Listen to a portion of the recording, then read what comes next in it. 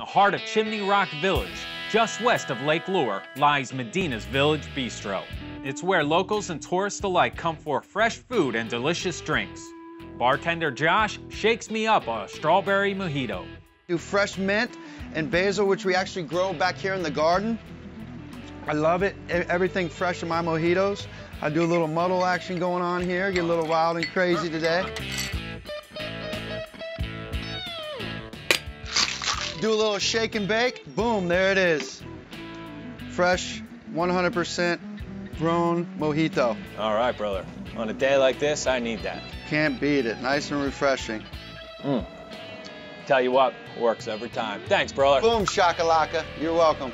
Have a wonderful day. All right. Inside, I meet chef and co-owner John Medina.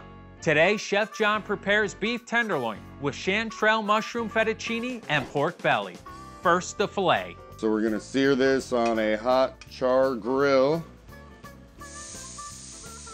This is a cherry wood smoked pork belly, which I smoked yesterday for six hours, low and slow, as they say. So um, we're gonna put that on the grill and just let it warm up a little bit. The pan is hot, so we're gonna drizzle some extra virgin olive oil, spring onions. We're just gonna sear that to a nice golden brown. Next, we add chanterelle mushrooms. They're delicate and they have a very mild buttery flavor. So we don't want to cook them too long. We just want to sweat them a little bit. Then we're going to deglaze our pan with a little chicken stock we made earlier. Heavy cream. All right. All right, now for the last ingredient, whipped butter. Butter, butter makes it better. For that, we're just going to turn it off and just let it sit while our meat finishes. Okay. drizzle butter over it every time I flip. It's important. It keeps it moist, but gives it a little crisp. Maybe a little flame. And this is our house-made Cajun spice. Just dust it lightly. The wife's not looking. We'll throw in a little more butter. No, she's not.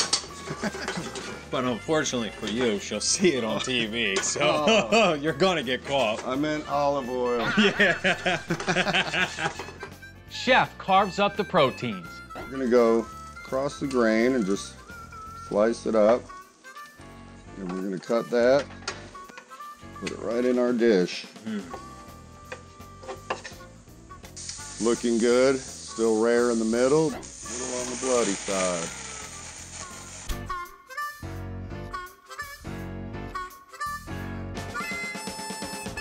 Then now it's time to plate. All right, so we like to get the goodies on the top.